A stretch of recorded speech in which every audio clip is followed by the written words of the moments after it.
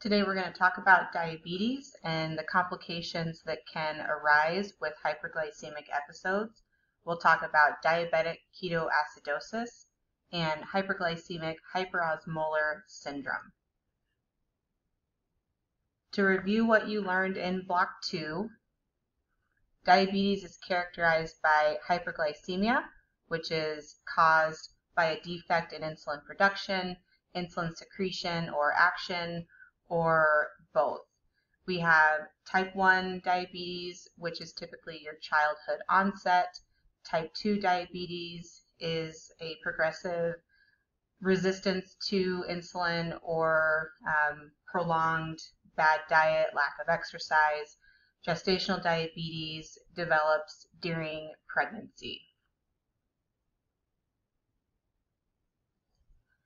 When we talk about type 1 diabetes, this is related to the beta cells in the pancreas, which are destroyed by either a genetic component, an immuno immunologic component, or other environmental factors. So you basically have the pancreas that is not able to produce as much insulin as the body needs or any insulin at all.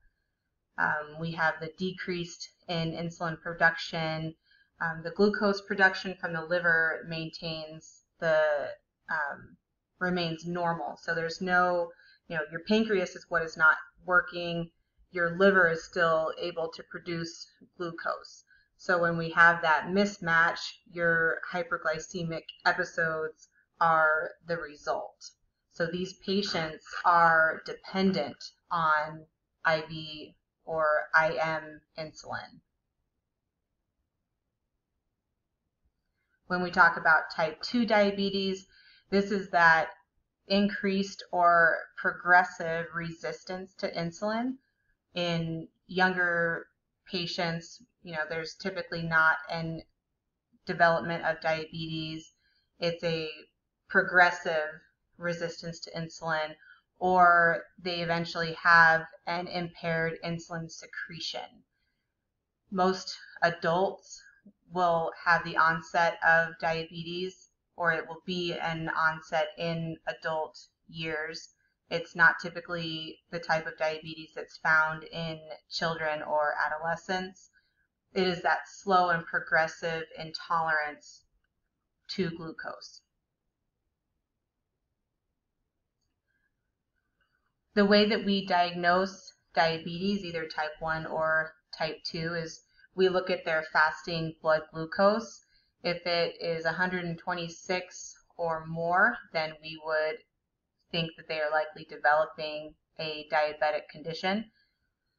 Casual blood glucose exceeding 200. So the difference between your fasting and your casual fasting is they've had several hours, at least eight hours of not eating or drinking and then your casual blood glucose would be at any point during the day. So if we just are spot checking blood glucose levels and we have a patient with a blood glucose over 200, then we can assume they likely have some sort of a diabetic condition developing.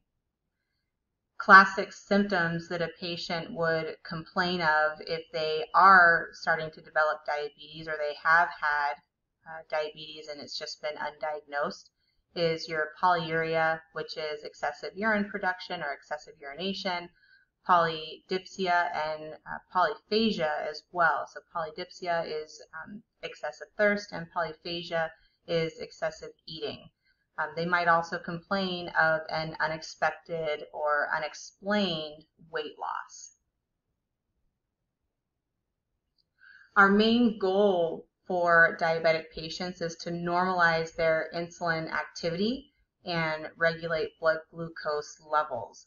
We want to reduce the development of complications that are related to diabetes in the first place. So your diabetic neuropathy, your kidney function that can result from um, uncontrolled diabetes. Uh, high blood pressure can also affect um, diabetes uh, manifestations. So as long as we can control the patient's insulin and keep their blood sugar levels within normal limits, then we can hopefully prevent any complications of diabetes from developing or minimize the severity of the complications should they develop.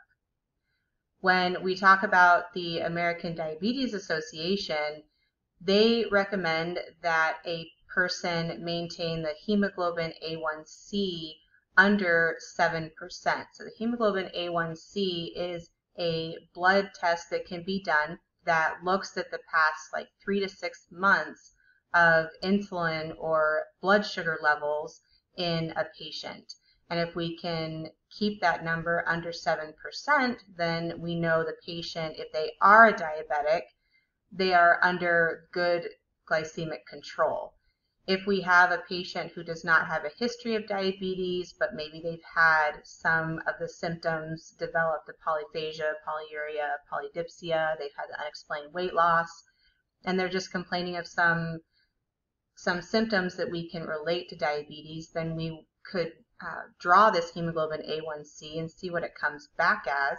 If they come back over that 7%, then we would need to do a little bit more digging and likely the patient would end up with a diabetes diagnosis. When we talk about the hemoglobin A1C, this is specifically the amount of glucose that is attached to the hemoglobin. It gives, again, that average of blood, blood glucose levels over the last several months normal person, non-diabetic, healthy, good diet, we would expect their hemoglobin A1C to be under 5.7%. We would consider them a pre-diabetic if their um, hemoglobin A1C comes back at that 5.7 to 6.5 um, percent range.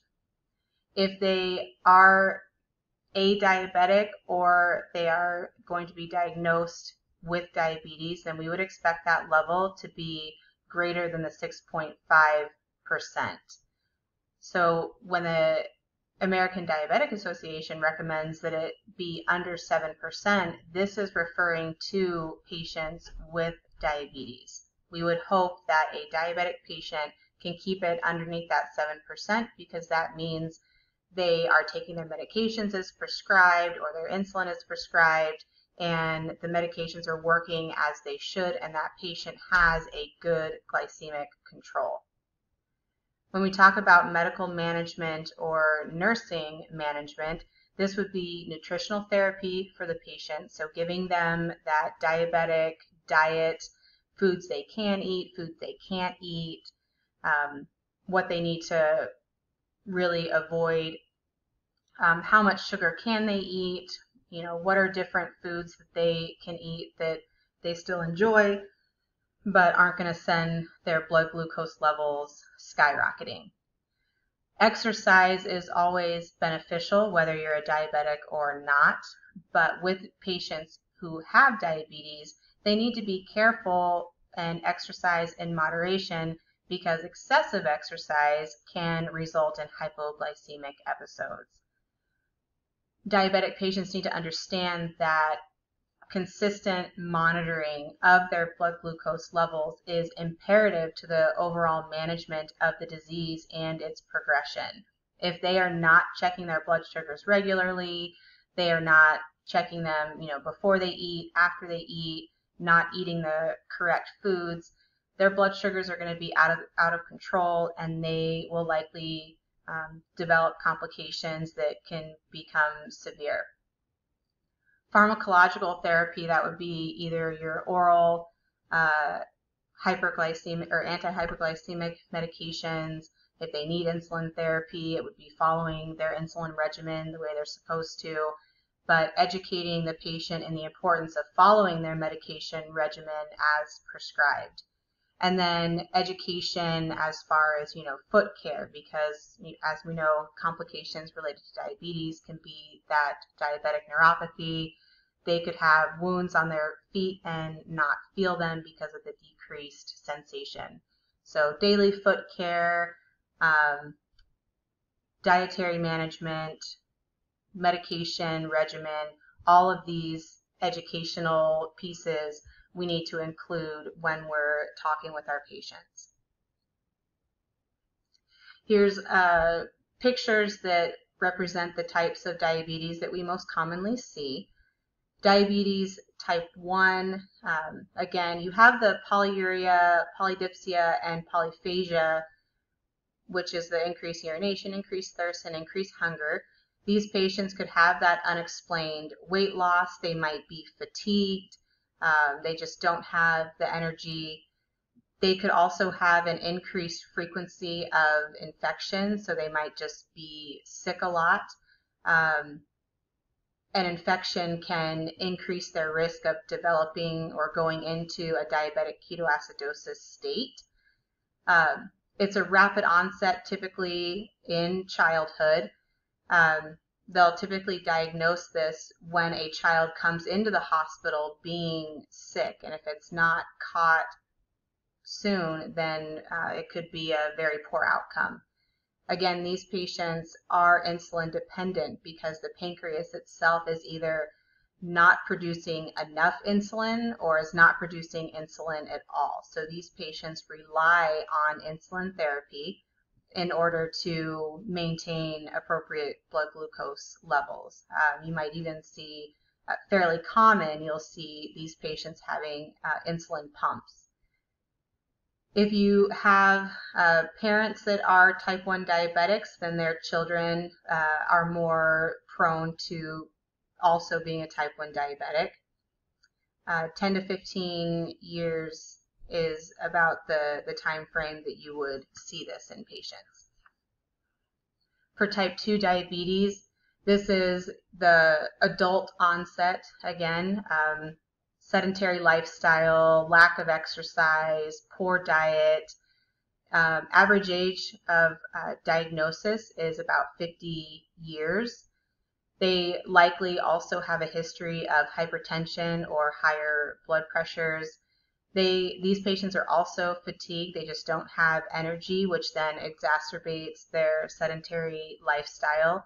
They are often obese. They will have recurrent infections just because they don't have the um, appropriate circulation to really clear these infections. You'll also see polyuria and polydipsia with type 2. To diagnose type 2, you would see those fasting blood sugars that are higher than the 126. So how can we manage diabetes? Again, normalize the insulin activity, stabilize blood glucose levels.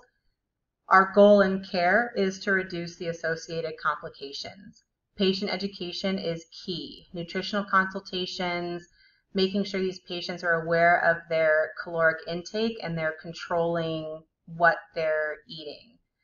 Exercise is important to maintain an acceptable body weight, but excessive exercise again can result in hypoglycemic events. Pharmacolo- pharmacological management, whether that be insulin therapy or oral um, anti-hypoglycemic medications, and then patient support for the lifestyle and dietary change. If we simply were to give these patients education upon discharge and then not have the appropriate follow-up resources, then the patient will struggle to manage their disease. So we really need to make sure these patients go home with appropriate support so that they can be successful in managing their disease. Biggest concern is portion control when we talk about diet, maintaining that reasonable caloric intake. They need to have protein on their plate, um, smaller amounts of the starchy vegetables, and they can have about half of the plate that has non-starchy vegetables. What we have to remember with starch is it converts to sugar.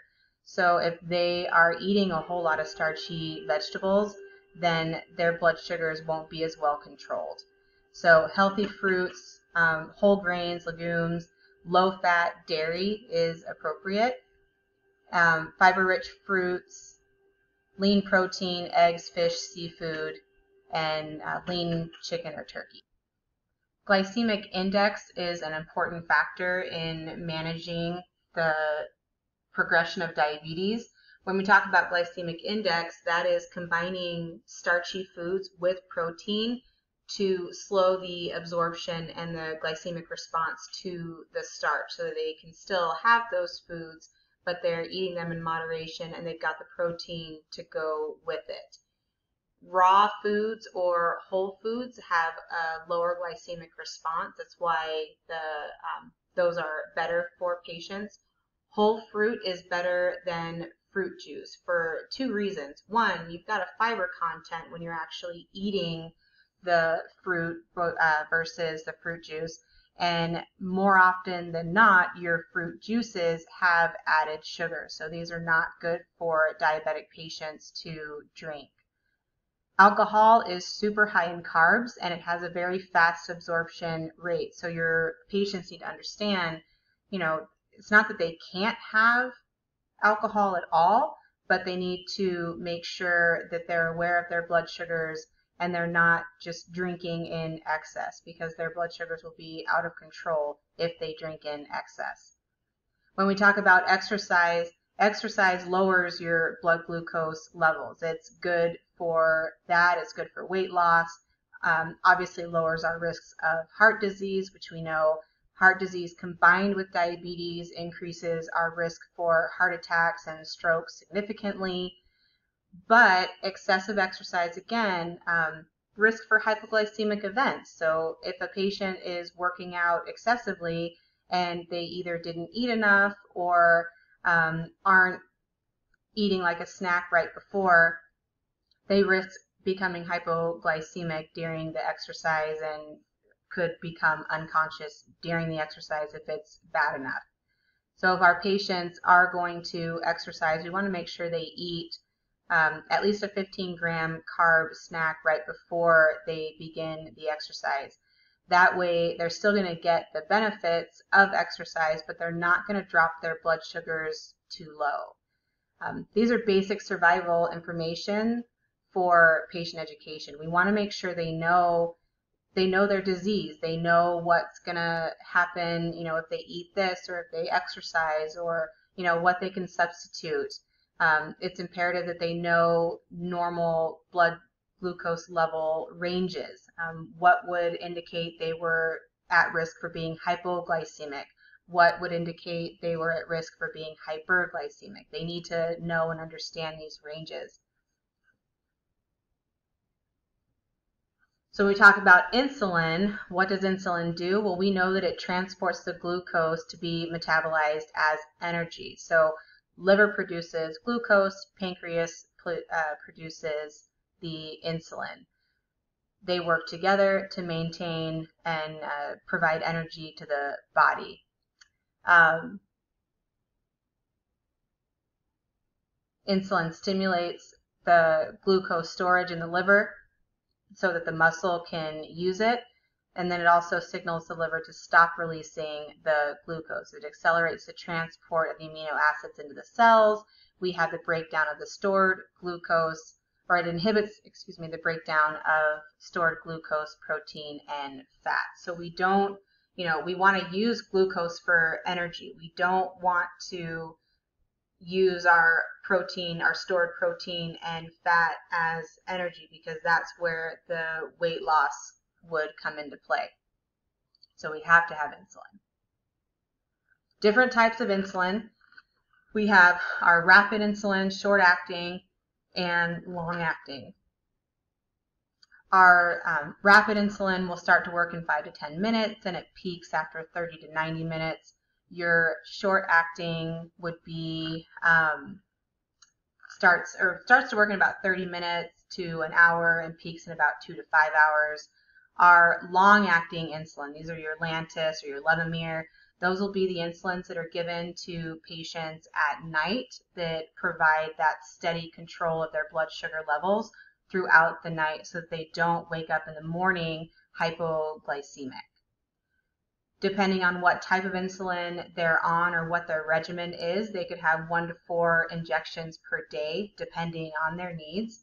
And then you'll likely see the combination of a rapid or a short acting insulin combined with that long acting insulin to better regulate their blood sugar levels throughout the day and throughout the night. We can give insulin uh, through just your traditional injections, so your sub-Q uh, injections, the needles that you'll draw up out of the vials in the hospitals. A lot of hospitals now are using insulin pens, so a patient would um, have their own pen for the duration of their stay in the hospital, and you would just click the pen to the appropriate dose and then give that.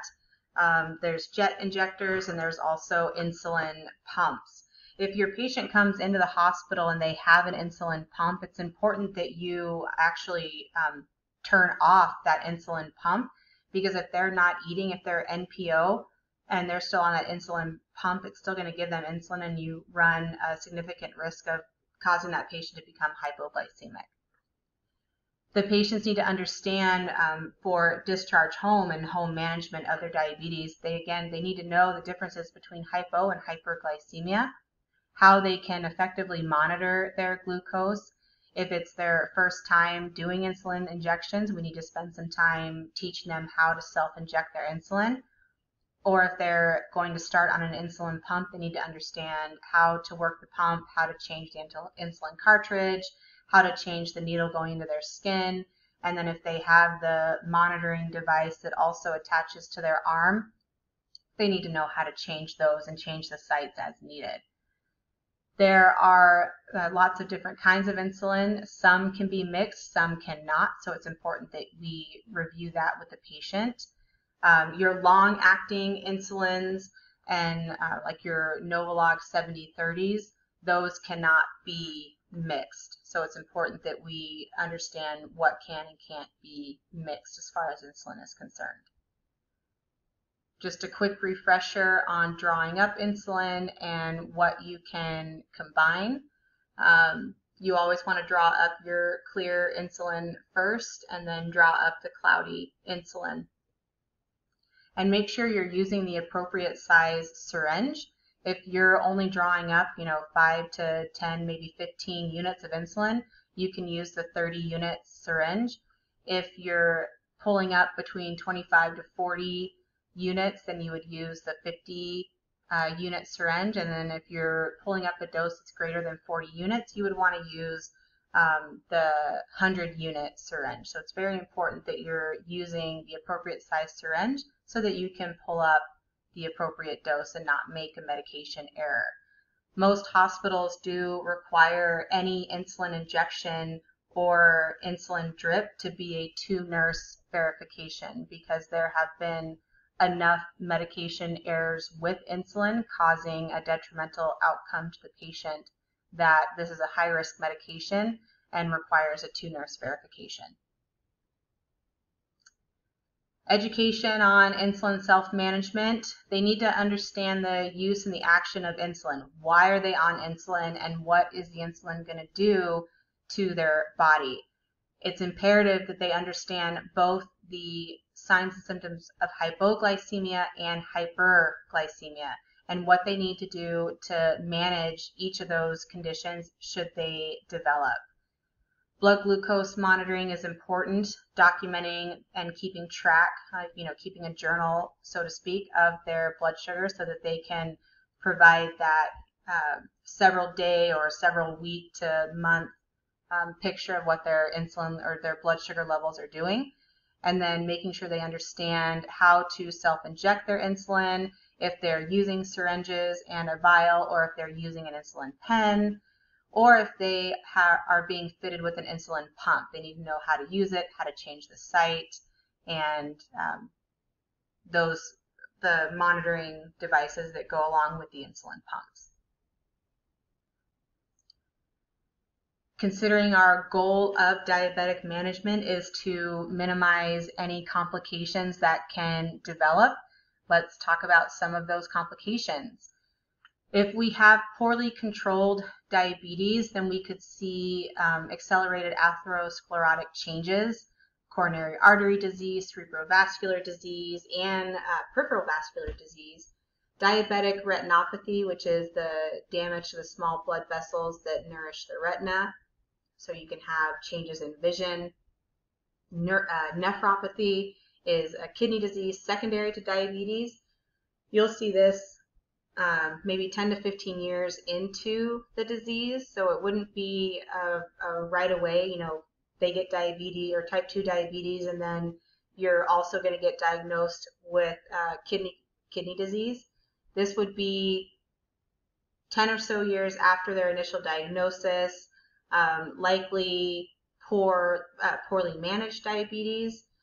So you'll see those kidney diseases develop as a result of that. I would say maybe 20 to 30% of type 1 and type 2 diabetics will develop uh, nephropathy, but your type 2 diabetics are more um, more likely to progress into that end stage um, kidney failure. Very, very important that we are monitoring kidney function with diabetic patients so that we can hopefully prevent them from developing that end stage disease. Peripheral neuropathy is a decreased sensation that can result or progress into a complete loss of feeling in their legs or um, feet and even their hands. Um, starts as kind of that prickling feeling, maybe a tingling, uh, numbing sensation, or maybe even burning. And these sensations can be worse at night. You might have your patient complaining, you know, of the symptoms being increased at night and affecting their ability to sleep. Autonomic neuropathies, these are some cardiac symptoms that can range from a sustained, uh, slightly tachycardic heart rate. They could have a silent MI, so uh, like we uh, talked about in block two with cardiac, your silent MIs can come, uh, they have that ST elevation and they'll see um, an elevated uh, cardiac enzyme or elevated troponin level, but they have no chest pain. And that's because there's the neuropathy present that uh, affects or changes the pain pathways. Um, orthostatic hypotension can also be an autonomic response. Um, the body doesn't sense their position changes uh, and as we know, when you know you go from laying down to sitting up or sitting to standing, our body is supposed to compensate and uh, raise the heart rate, raise the blood pressure, so that we don't have the uh, syncopal episode. But with the autonomic neuropathy, our body might not sense those changes as fast, and you would see that orthostatic hypotension. Uh, we could also have some urinary retention due to the decreased sensation in the bladder this uh, could ultimately result in a neurogenic bladder. Hypoglycemic unawareness. What do I mean when I talk about that?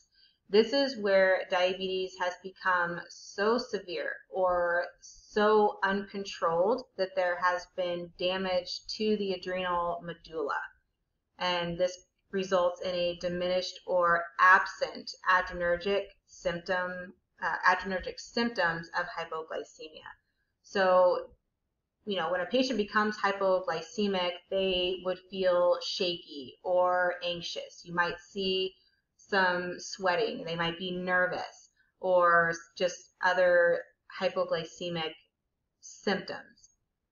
When we have the damage to the adrenal medulla, there's a diminished or absent adrenergic symptoms. So they're not they're going to be hypoglycemic, but their body's not going to sweat. They're not going to have the feelings of shakiness or nervousness. They might not be tachycardic um, or any any of those symptoms. So that would be hypoglycemic unawareness.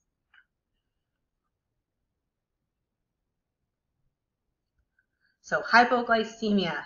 This is an abnormally low blood glucose level. It could be uh, it's typically less than 50, but if we have a patient whose blood glucose is less than 70, we're going to start treating them to avoid their blood sugar going even lower.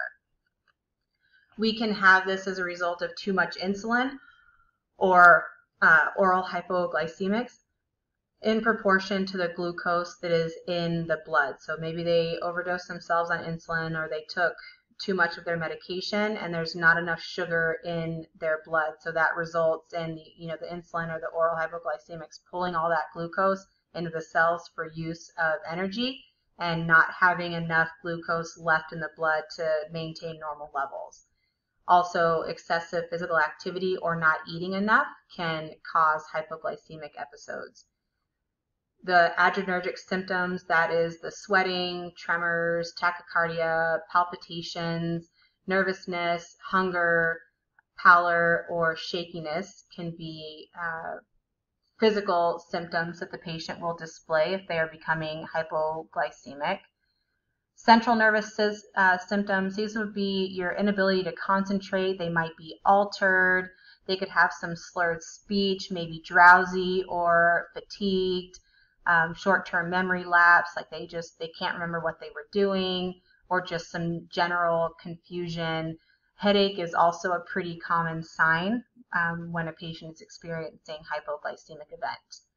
When we have severe hypoglycemia, this is when, you know, we, we had that blood sugar that was maybe 65 or 70 or maybe even 75 and we didn't treat it or we didn't treat it fast enough and it became even more severe because the body is just going to keep using the, the glucose that's left and we're not replacing it. This could uh, range from just disorientation to your patient could have a seizure and loss of consciousness and severe, severe cases can result in death because if you don't have enough blood sugar, your body cannot, or if you don't have enough glucose in your blood, your body cannot function. Covering the hypoglycemic unawareness, this would be no warning signs until their blood glucose is critically low. So they could be, you know, totally fine. They're not sweating. They're not tachycardic. They don't have a headache. And then all of a sudden they go unconscious because their blood sugar is 25 or 30. Um, again, that's the, the autonomic neuropathy and the lack of the, the hormones that cause those symptoms to show up. Patients who are at risk for hypoglycemia unawareness should keep their blood glucose levels a little bit higher. So, you know, we, we want blood glucose levels to be in that 80 to 100 range. So maybe your patients who are at risk for this should keep their blood glucose levels around like 120. Um, but keeping them higher so that they have a little bit more of a buffer should they drop too low. If your patient is alert and they are able to swallow, if they are hypoglycemic, give them 15 grams of a fast acting uh, concentrated carbohydrate. So this would be your glucose tabs or the tubes of the glucose gel. Um, or four to six ounces of juice or regular soda, so something that has a large amount of sugar in it. This again is only if they are alert and uh, can swallow without risk of aspiration. You want to retest their blood glucose level in about 15 minutes and retreat them if needed. So if in 15 minutes, you know, they only came up maybe 5 to 10 points, I would treat them again. Or if they dropped even lower, they need to be treated again, but then I would consider do we need to start an IV and give them um, IV dextrose, or do they need an IM injection of glucagon? After we have treated them with the glucose tabs or the gel, they need a snack that's got protein and carbs within 30 minutes of giving them the glucose tabs, or else their blood sugar will just drop again. They need something that their body can digest to raise their levels of glucose. If the patient cannot swallow or they are unconscious, we would use uh, glucagon, which is an IM or sub-Q injection that we can give right in their arm, and that will raise their blood glucose level, hopefully to the point where they would regain consciousness, and then maybe they could drink some juice or um, in, take the glucose gel or eat the glucose tablets. Um, if they are not responding to the glucagon and you can start an IV, then we would give them 25 to 50 mLs of the 50% dextrose solution. So this is the big syringe of IV dextrose. And you could start with half of the syringe, just giving them the 25, and hopefully raise their blood sugar enough to where they'll regain consciousness, but you may have to give them the full 50 mLs of the dextrose. Once they have regained consciousness, they still need to eat something, something with protein and carbs to maintain their glucose levels because their body will just burn off the sugar you just gave them and they could become hypoglycemic and uh, lose consciousness again. We need to determine the causes. Why did they become hypoglycemic in the first place? And correct that. Diabetic ketoacidosis is one of the most common complications that can occur You'll see it more with your type 1 diabetics. This is caused by a profound deficiency of insulin. So they, you know, because it's more common with your type 1 diabetics, you know, maybe their insulin pump stopped working or the battery died or um, they forgot to change the cartridge um, or they just were not managing it appropriately from the beginning they will have hyperglycemia symptoms. They'll be um, ketosis, acidosis, have dehydration. They will be very fluid deficit. Without the insulin in the system, the amount of glucose that's going into the cells is reduced. So it just is kind of hanging out in the bloodstream the production of glucose by the liver is actually increased, and this causes that hyperglycemic state. Um, in an attempt to get rid of all this extra glucose that's just floating around, the kidneys will excrete glucose along with the water and electrolytes. Um, so that's where you get that dehydration, and you'll see the glucose in the urine known as the uh, osmotic diuresis. That's excessive urination. That's where your polyuria comes in. Um, leads to dehydration. They've got marked electrolyte loss as well. Um, patients in DKA can lose up to six and a half liters of water. Um, they'll lose sodium, they'll lose potassium, and even chloride over the over a 24-hour period, and just results in that acidotic state, the the ketosis and whatnot. It's just not a good combination at all. The ketosis comes into play because you've got the, um, with the insulin deficiency, there's also a deficit in the breakdown of fat um, into the free fatty acids or glycerol. This the fatty acids get converted into um, ketone bodies by the liver. Ketones are acid. Um, their accumulation in the bloodstream because they're not getting broken down leads to that metabolic acidosis. So just this whole kind of combination and storm that ens- ensues because of this deficiency of insulin. Precipitating factors to DKA are illness, infection, inadequate insulin dosage. So either their pump wasn't set right, they weren't dosing themselves correctly. Um, they could have undiagnosed type 1 diabetes. This would be uh, finding a patient in DKA would be a common way that type 1, uh, type 1 diabetes is diagnosed in the first place. Um, poor self management, if you have a type 1 diabetic who just doesn't care anymore, which happens uh, pretty common, they will end up in the hospital in DKA because they are choosing to not manage their uh, diabetes effectively. And then neglect. If you have a type 1 diabetic who is reliant on family or caregivers, if they're not getting what they need, then they can end up in DKA. So the pathophysiology of DKA, you've got that, um, you know, the beta cell destruction or lack of production or what have you. That leads to our insulin deficiency. This leads to the decreased uh, tissue glucose utilization. So we don't have the cells using the glucose for energy. So it stays in the blood. It's spilling over into the blood. Um, that is where we see the hyperglycemia result, and the kidneys try and get rid of the excess glucose. You see polyuria and polydipsia, the excessive urination, excessive thirst because they have the excessive urination. So there's our volume depletion. They are just urinating a ton. So any fluid that they are taking in is just kind of going right back out. We end up in the diabetic ketoacidosis state.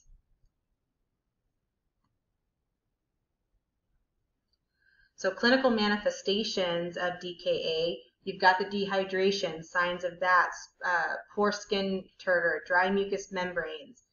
I, I can't emphasize enough the uh, excessive thirst. They could be drinking a ton and just still thirsty, dry mouth, not, you know, just not feeling like they're hydrated. Um, tachycardia as a result of the volume depletion, and then orthostatic hypotension also because they're volume depleted. Lethargy and weakness are earlier signs of it. Um, skin is dry, could be loose because the volume deficit. Uh, abdominal pain is common. Um, anorexia, nausea, vomiting are common. Um, Kussmaul respirations. So this is that uh, breathing pattern. They're trying to regulate their um, the metabolic acidosis. They're trying to fix it. So they go into this breathing pattern, and they've got a sweet, fruity breath um, odor to their breath. With metabolic acidosis, that results because you've got the the low serum bicarbs. Their bicarb is still is going to be uh, typically less than the 16 They'll also have a low pH, so should be somewhere around 7.3 or lower. Um, they've got a respiratory compensation trying to fix that. So the Kussmaul respirations, it's that rapid, deep, labor, labored breathing. Um, ketones are actually released through the exhalation. So that's where you get that fruity breath, um, the fruity odor to their breath.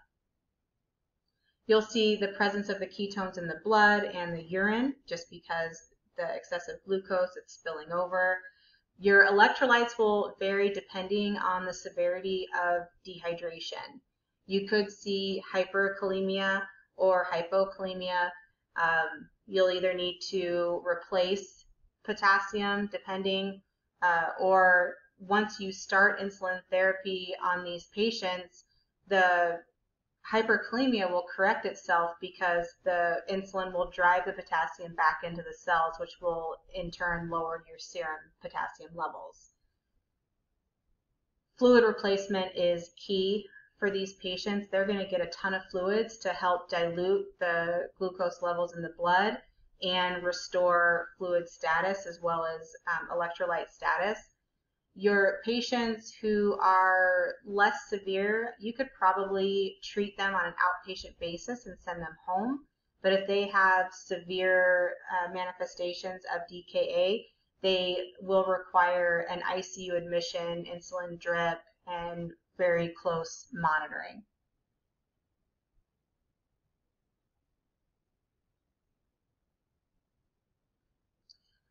We want to make sure when we're treating patients with DKA that they have a patent airway and we give them oxygen as needed. Um, some of your more severe cases of DKA, they might be unconscious. So we have to make sure that they can protect their airway. And is there something that we need to do, uh, do how we need to intervene to make sure that they have a patent airway? Early, early IV access and begin fluid resuscitation. These patients are going to get a lot of um, a lot of fluids, like two, three liters of fluid from the get-go to help restore fluid status, dilute the uh, blood glucose levels, and um, restore electrolyte imbalance. We may need to replace potassium. We just have to monitor their uh, CMP levels, their potassium levels. Monitoring the blood glucose, watching their renal function, and closely monitoring urinary output. So we know that we're giving them excessive amounts of fluid. we want to know how much is coming out. We'll do lung assessments, so listening to breath sounds fairly frequently to make sure that we're not throwing them into a fluid volume overload. And then uh, we want to reverse the acidosis. Um, again, the hyperkalemia would be present, and if it is, we're just going to watch it because the insulin and fluid replacement will correct the serum potassium levels, but we would want to be watchful for them becoming uh, hypokalemic. Uh, and again, a lot of these patients are going to require an ICU admission, but we might have caught the DKA soon enough that we could treat them on an outpatient basis and then they could go home. These patients are going to require insulin IV drips if they are to be hospitalized. These will be your, your ICU patients again. Um, regular insulin is what we use for um, IV.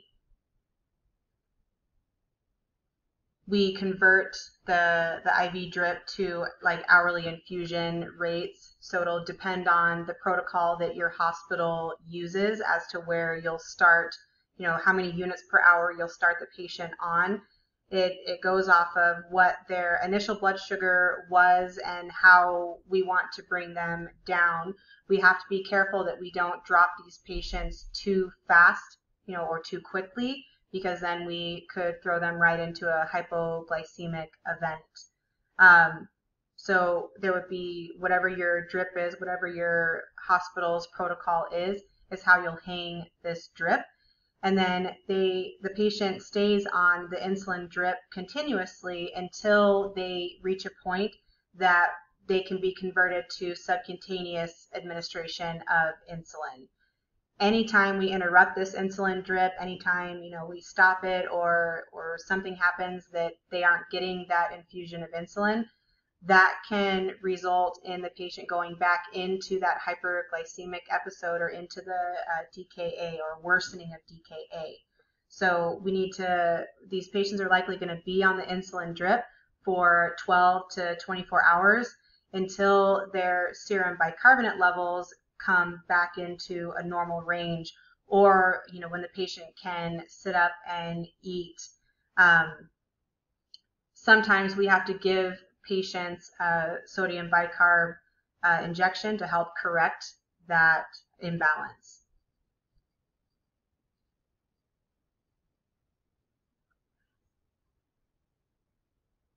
The use of sodium bicarb, however, is it's rare. You don't have to do it. Most of the time, most of your DKA patients, even the most severe ones, we can correct the DKA state with just an insulin infusion.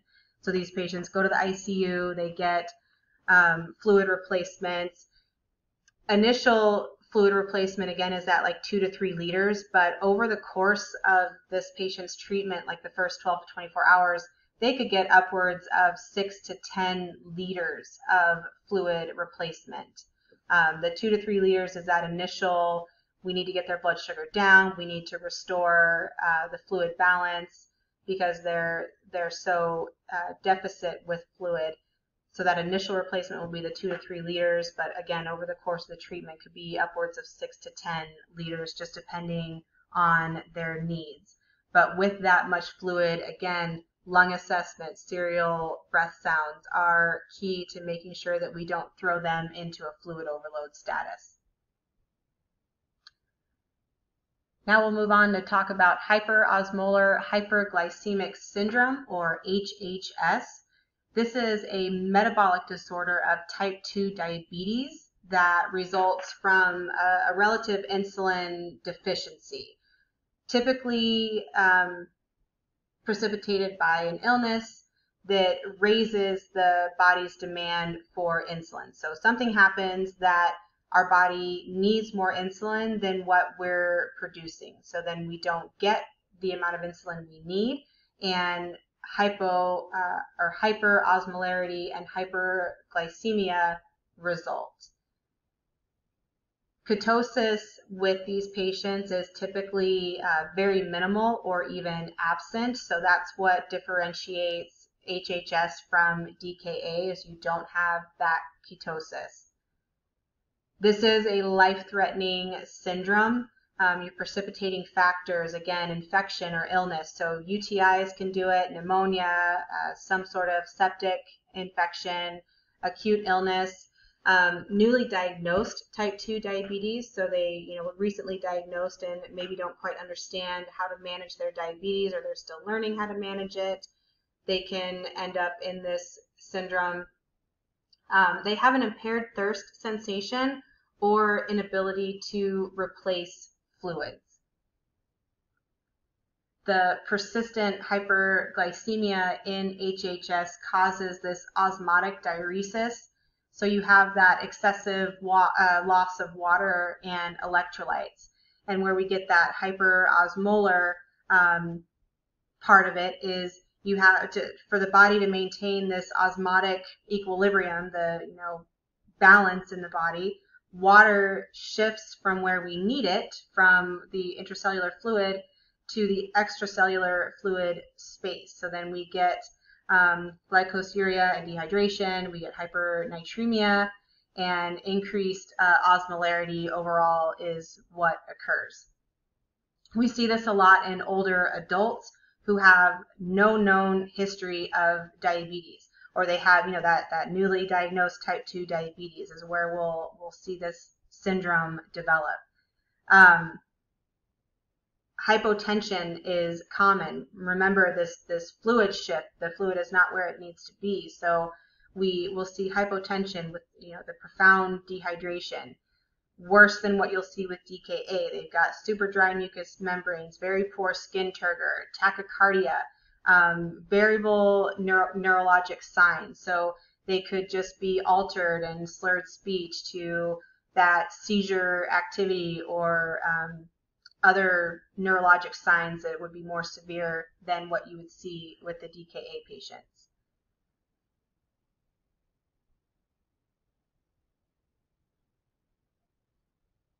Again, we don't have enough circulating insulin um, to prevent the ketoacidosis. There's fewer symptoms in HHS than there are in DKA. This leads to much higher blood glucose levels. So these are the patients, you'll see a blood glucose level above 600, even into the thousands.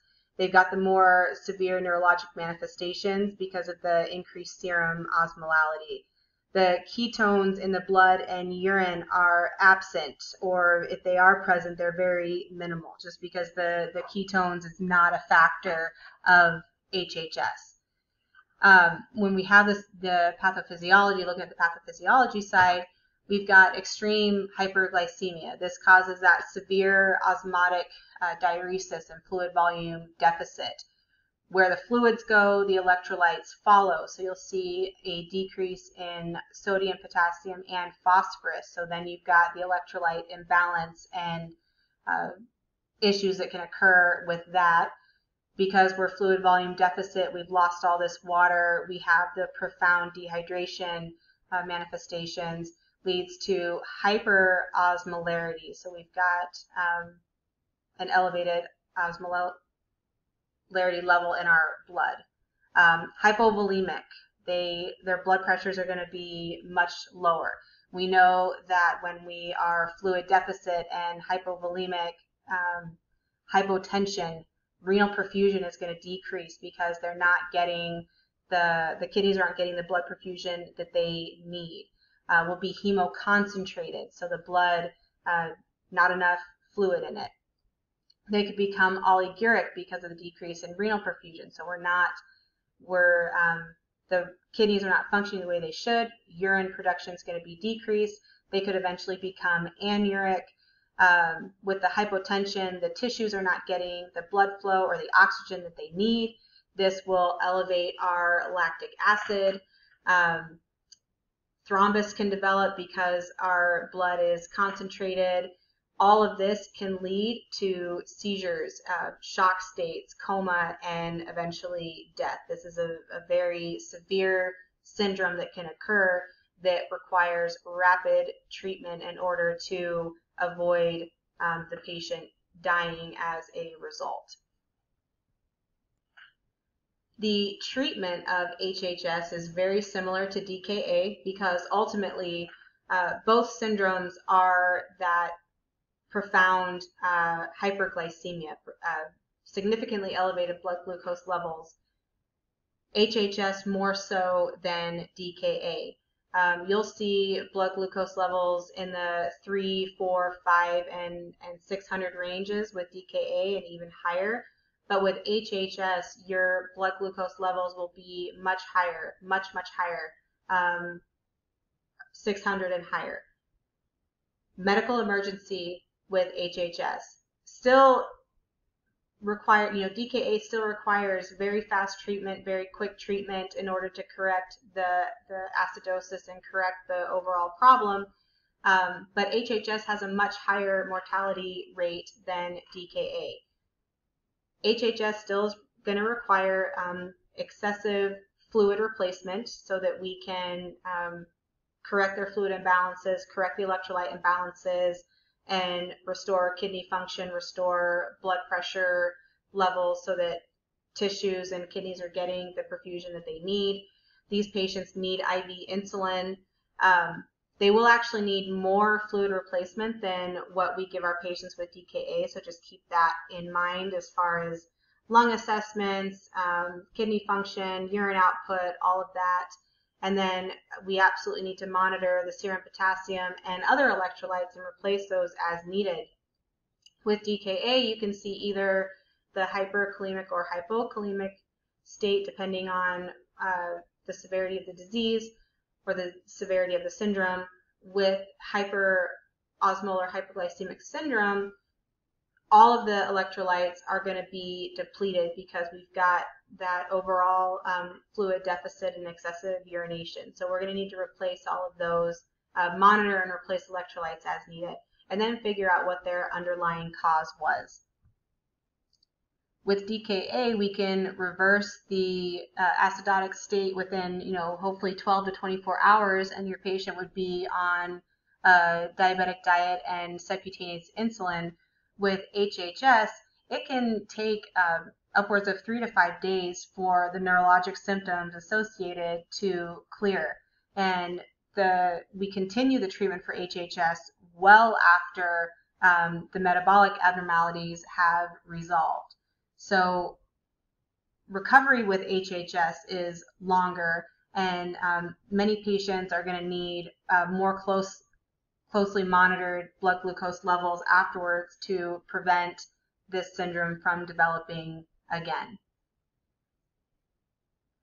Nursing management for DKA and HHS are very similar. Um, the overall approach, similar. Fluid replacement, correction of the electrolyte imbalances, depending on which ones are present, insulin administration for both of them.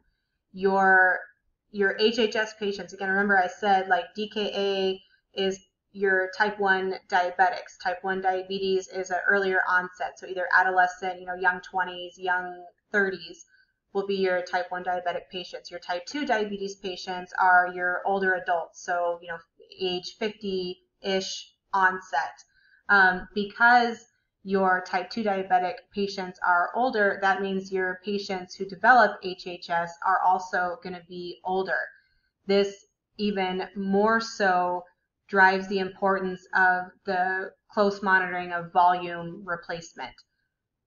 Excessive uh, lung assessments, serial lung assessments, breath sounds, making sure that we're not throwing them into a fluid volume overload.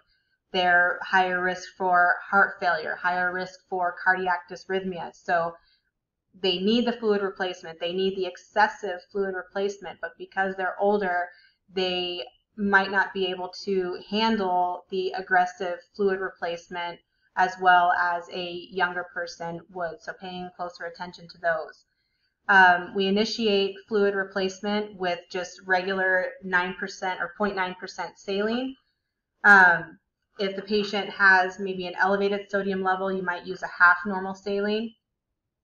Um, once with DKA, you get the patient back into normal blood sugar ranges. So maybe around like when we start to get to that uh, 200 mark, your physician might order that the patient get started on like a D5 half normal saline uh, to where the patient gets some sugar in their IV fluids while they're still on the insulin therapy to prevent them from dropping into that hypoglycemic range.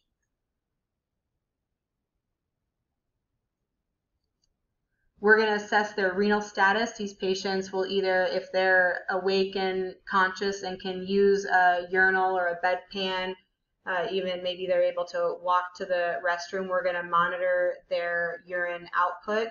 A lot of these patients will have Foley catheters in depending on their level of consciousness. So we'll do, you know, hourly intakes and output for the patients. Cardiopulmonary status, they'll be on a cardiac monitor checking for cardiac dysrhythmias and uh, pulse ox, making sure the respiratory status is okay, and then monitoring level of consciousness.